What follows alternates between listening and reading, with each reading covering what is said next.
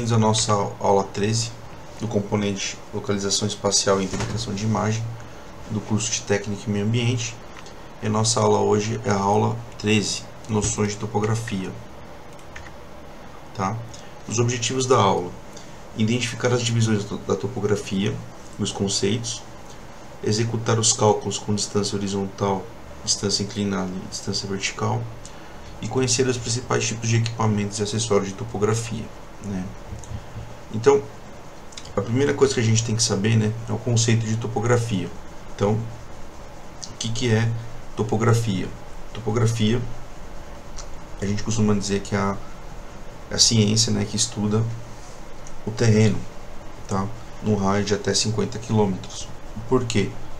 A partir de 50 km você leva em consideração o efeito da curvatura terrestre, então você vai ter uma deformação. Então a topografia ela desconsidera a curvatura terrestre, tá? Passou de 50 km aproximadamente, você vai para outra ciência que nós chamamos de geodésia, tá? Então, é muito importante você conhecer o terreno para você poder fazer o que em cima? Fazer o seu projeto.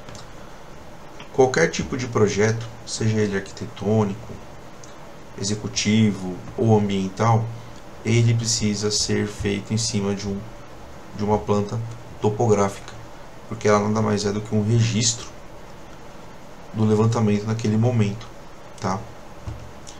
Então, por isso que ele fala aqui, ó. Vamos iniciar a aula com uma questão no mínimo curiosa. Você já imaginou como seria a organização de uma cidade se os donos das propriedades não tivessem certeza de onde começam e onde terminam suas terras? Pense como seria difícil para um governador trabalhar em seu estado sem saber a sua real dimensão ou até mesmo quem de fato mora no território de sua administração. Veja como seria difícil para um administrador de uma fazenda ter que controlar seu gado e não saber até que ponto ele poderia estar no pasto do vizinho.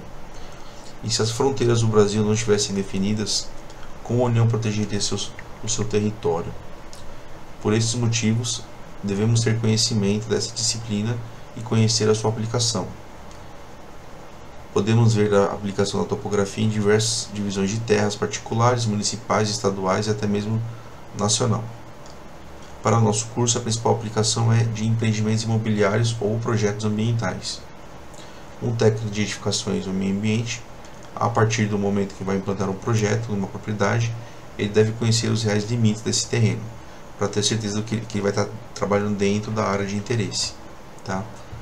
Então, topografia é uma palavra que vem do grego, né? topo significa superfície e grafia escrita, então seria escrita da superfície. Tá? Nada mais é do que uma planta onde vai estar descrito ali todos os elementos físicos e é, artificiais. Tá? Então ele fala ali, ó, não através de texto ou foto, mas sim através de um desenho que contenha elementos que possam detalhar as dimensões do lugar, dimensão é medidas, sua orientação, localização em relação ao planeta, implantações que tenham ocorrido, como estradas, túneis, casas, edificações, etc. No desenho vai ser representado o relevo, que a gente já viu que são as curvas de nível, e os pontos cotados, assim como as interferências naturais e artificiais. Artificial é tudo aquilo feito pelo homem, como edificações, estradas, e naturais são a própria natureza interferindo no ambiente, como por exemplo uma depressão, uma montanha, um vulcão, um terreno mais inclinado, um córrego, ou até mesmo uma vegetação, como uma, uma, uma mata fechada, uma mata ciliar, etc. Então ele fala que a topografia é a representação exata do terreno no papel, ou no caso no meio digital, que seria o AutoCAD. Todas as distâncias no desenho são distâncias horizontais, articuladas a partir de técnicas e cálculos de projeção no plano. Um exemplo são as curvas de nível. Então aqui do lado a gente tem aqui ó, uma planta topográfica né, de um empreendimento imobiliário. Então você pode ver aqui que você tem aqui o quarteirão, a quadra, e destacado você tem a, o empreendimento. Se eu, dar, se eu ampliar aqui, a, a imagem não está muito boa, mas a gente consegue ver aqui ó, a grade, a malha de coordenada, a gente consegue ver aqui ó, a, o alinhamento predial, nós temos, a gente consegue ver aqui a calçada, né, o passeio, os pontos cotados, né? Aqui, ó, nós temos aqui algumas árvores, né? E outras edificações, tá? Eu vou mostrar depois para vocês uma, um, um, levantamento topográfico no AutoCAD, tá?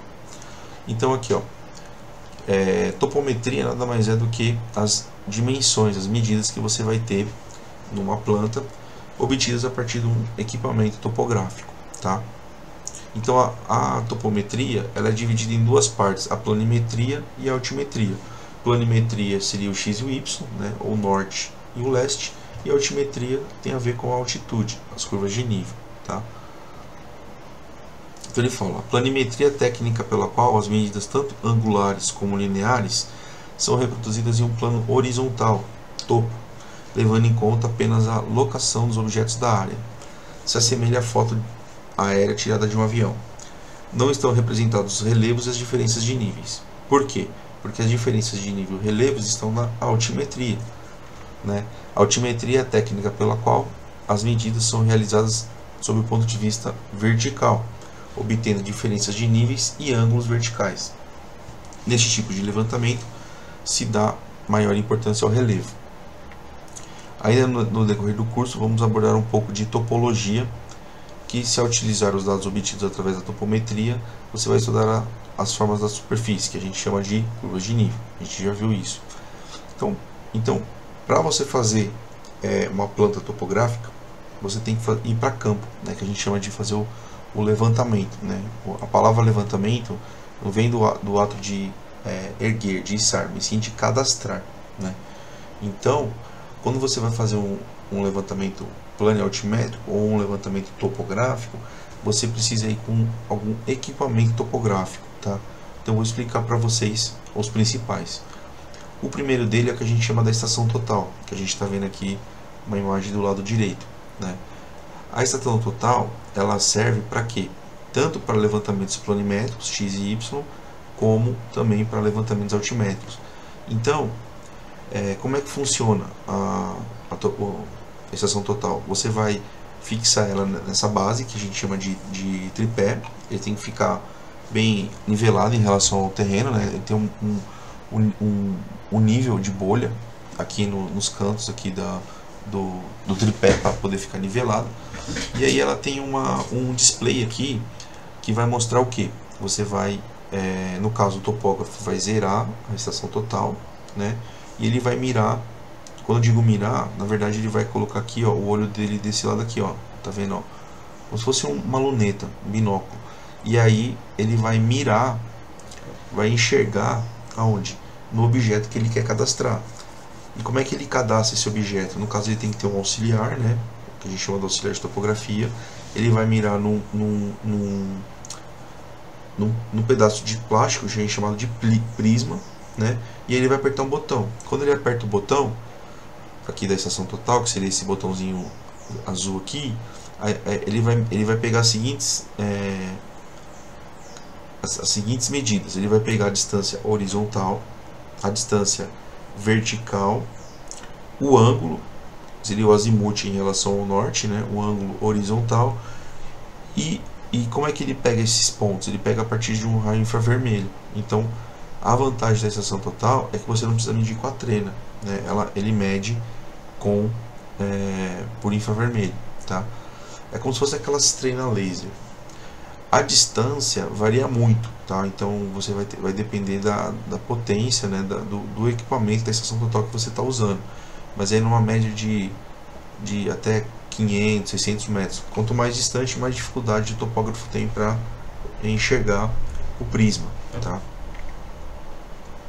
Então ele fala que a estação total ela usa como acessórios o tripé, o prisma e o bastão. O bastão onde você atarracha o prisma, né, que é o auxiliar que segura. Então ele fala, para ser operada, ela tem que ser fixada ao tripé, aproximadamente na altura do topógrafo, né, 1,50m, 1,40m, centrada em um ponto, marco topográfico ou um piquete, nivelada, como falei, ela tem os, os, os, o, o nível de bolha, e por fim orientada em algum outro, outro ponto conhecido. Esse ponto conhecido é que a gente fala das coordenadas que você está utilizando. Você pode usar as coordenadas arbitrárias, ou seja, o topógrafo que define. Então aquele ponto que ele colocou a estação ele vai falar que é 0, 0, 0 no x, 0 no y, ou ele parte de um plano conhecido, que o que a gente usa muito é o, o TM, né? É, Universal Transversa de Mercato. Tá? Então, a, a estação total, ela gira, né? Ela, ela gira aqui, ó, até é, 45 graus, né? Tanto para baixo como para cima, tá? Então, quando a gente fala zenit, o zenit é o ângulo vertical.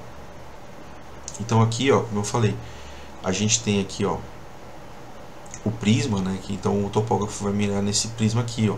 E aí, ele é fixado no bastão. Esse bastão, ele é retrátil, tá? Você pode é, aumentar e descer ele conforme o relevo que você tá, né? É, outros também, outros equipamentos utilizados, né, que a gente tem também, é o teodolito, né? O teodolito é esse cara aqui, ó, que seria o pai da estação total. É, ele é parecido ao, ao, funcionamento, só que ele só mede ângulo, né? Ele só mede o ângulo vertical e o ângulo horizontal. É, geralmente você zera ele no norte, né? Mas ele tem a desvantagem que ele não pega a, a distância e também ele não marca os pontos. Na estação total, você define lá, por exemplo, você digita aqui na estação total P1, por exemplo, árvore, ele já vai memorizar, ele tem uma memória aqui, né? O teodolito, como ele é, ele é analógico, você tem que ter a caderneta de campo, então você, a cada ponto você tem que anotar que tipo de ponto é, né? Então você pega lá, geralmente a gente chama de caderneta de campo, você tem lá uma, uma tabela na, na prancheta, né? Então vai ter lá, a primeira coluna seria a numeração, né? Ponto 1, ponto 2, ponto 3. Segunda coluna, a descrição, né? Terceira coluna seria o ângulo horizontal e a quarta coluna o ângulo vertical. E a quinta coluna seria a distância horizontal, né? Que é puxada com a trena. Então, a gente vê que, embora o teodolito seja um, um aparelho muito preciso em relação aos ângulos, a, a, a, produtividade dele em relação à estação total é muito baixa, né? Porque você precisa ficar puxando o treino. É, hoje em dia o teodolito não é mais usado, né? Porque, como eu disse, ele era usado em, na época que não existia o computador. Então, a partir dos anos 90 ele foi começado a ser deixado de lado, tá? E hoje a gente, a gente tem de mais moderno aí, na, na, não é tão moderno, já tem uns 20 anos, é o GPS, né? Que na verdade o termo correto seria GNSS que ele seria, vamos dizer assim, o, o, o neto do, do, do, do teodolito. Né? Ele, ele é muito mais prático, você, ele, você não precisa pegar a distância, que ele pega por é, triangulação via satélite, então ele já, ele já pega a, a, coordenada. Pode ser em tempo real para RTK ou pós-processado. Tá? Então o que a gente tem que entender aqui alguns conceitos, né, que seria o ângulo horizontal. O que, que seria o ângulo horizontal? O ângulo horizontal é o ponto de onde o, topógrafo colocou a, a estação total teodolito até o ponto que ele está pegando. Então você pega a partir da onde, ó, da base aqui onde o aparelho gira, tá vendo? Ele pode ver que ele gira aqui, ó. É como se ele tivesse uma é, ele, ele, é uma base que gira, né? ele gira 360 graus. Mesma forma a estação total, tá vendo? Ela gira. Então o ângulo horizontal vem daí. O ângulo vertical, como eu falei, ele vem aqui ó, da partir da luneta, né? Ó, a luneta ela, ela gira ou abaixa, né? Igual o teodolito também. Né? Então eles são bem parecidos. Então você tem um ângulo horizontal, né? Então, por exemplo, aqui um, um exemplo, né? Um ângulo horizontal pegando um ângulo interno entre dois pedaços de cerca, né? E o ângulo vertical, como eu falei, né? Ele vai de, ele vai de 0 a 90, tá? Então, é, o ângulo vertical seria, por exemplo, o ângulo em relação aqui, ó, 45 graus. Seria a base da, da, da cerca até o morão aqui, tá? É, outra coisa importante também que a gente costuma falar seria o zenit, né? O zenit, ele fala, ó, o zenit que é representado pela letra Z, ele encontra-se no infinito vertical superior e o nadir no infinito vertical inferior.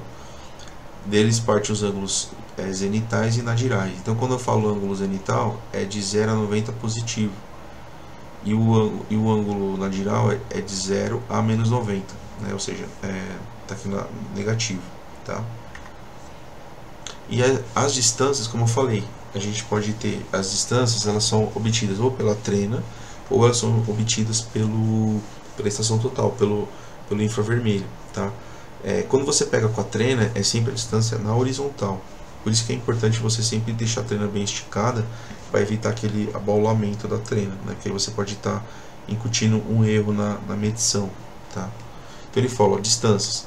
Com o auxílio da, do prisma, a estação através de um raio laser acionado pelo topógrafo lê a distância horizontal, vertical e inclinado, com precisão milimétrica. O alcance, dependendo do equipamento, pode ser até 2 km. Apesar do equipamento realizar esse cálculo, é importante que conhecemos algumas relações entre essas distâncias. É. Então, essa, essa imagem é bem interessante. Então, quando você... Imagina que eu estou com o meu aparelho aqui, e o meu auxiliar de topografia vai lá em cima, lá no, no final da rua, né? É um aclive. Então, quando o, eu miro no prisma e eu aperto o botão, ele vai pegar para mim três distâncias. Ele vai pegar a distância horizontal, né, que a gente vê em planta, a distância inclinada, que seria a rampa, a hipotenusa, e a distância vertical, que seria a diferença do ponto A para o ponto B. Tá? Então ele fala aqui que a distância horizontal né, seria é, a regra da hipotenusa. Né? A distância horizontal pode ser a distância inclinada vezes o cosseno, ou a distância horizontal pode ser a distância vertical dividido pela tangente. Tá? Então aqui a gente tem um, um, um exemplo, né? usando a calculadora, informe qual a distância horizontal quando a distância vertical, vertical for igual a 15 metros e o ângulo vertical igual a 6 graus e 36 segundos. Né? Então, jogando na fórmula, se você pegar 15 dividido pela tangente de 6 graus e 36 segundos, você vai ter uma distância horizontal de 142,48 metros. Exercício 1b. Quando é, calcular, informar a distância horizontal quando a distância vertical for 150 metros e o ângulo vertical for igual a 16 graus cravados. Então, é a mesma fórmula. Você pega 150 divide pela tangente de 16 graus. Você vai ter uma distância horizontal de 523 metros. Por último, a distância inclinada. Calcular a distância horizontal quando a distância inclinada for igual a 150 metros e o ângulo vertical igual a 2 graus e 2 minutos. Então, jogando na fórmula, a distância horizontal é o que? É a distância inclinada vezes o cosseno do ângulo vertical. Então você vai pegar aqui 150 metros vezes o cosseno de 2 graus e 10 minutos. Multiplicando, você vai ter uma distância horizontal de 149,89 metros. Aí ele fala, né, por, é, também por equivalência, a distância vertical pode ser a distância horizontal vezes o seno do ângulo vertical, ou distância vertical pode ser distância horizontal vezes a tangente do ângulo vertical. Tá? Então, um exemplo 2 aqui, ó.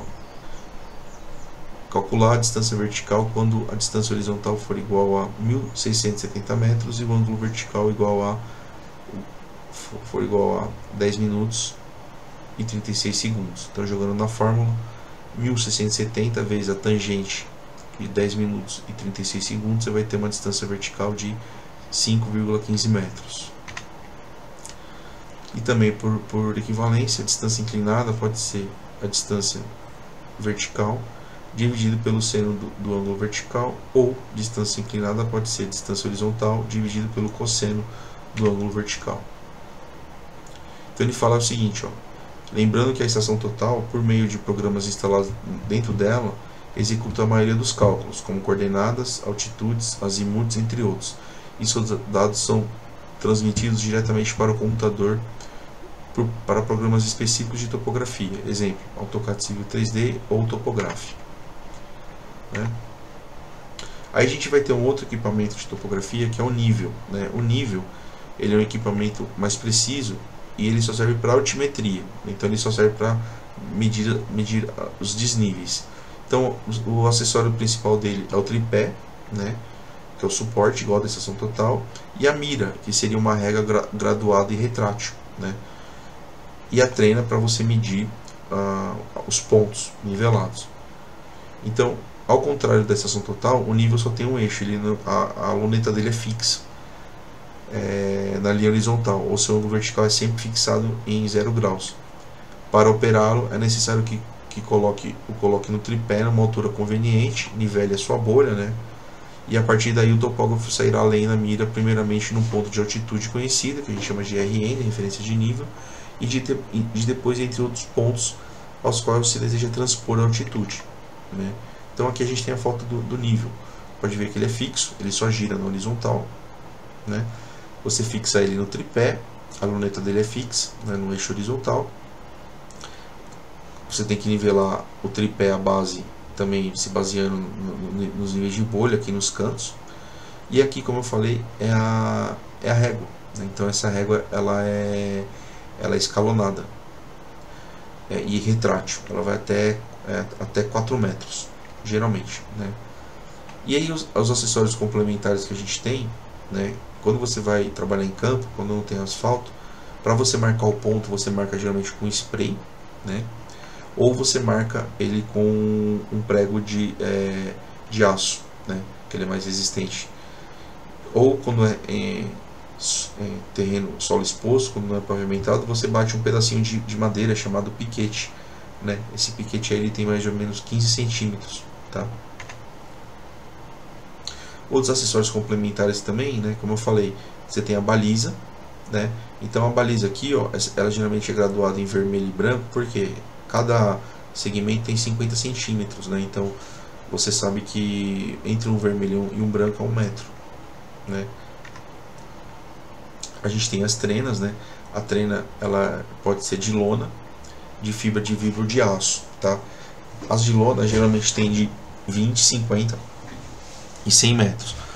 As de fibra elas são mais baratas, né? é, e flexíveis, elas não alteram o comprimento dela em relação à dilatação térmica. As de aço elas são fortes, caso você mantenha esticado, mas você tem a, a limitação da, do tamanho máximo dela. Né?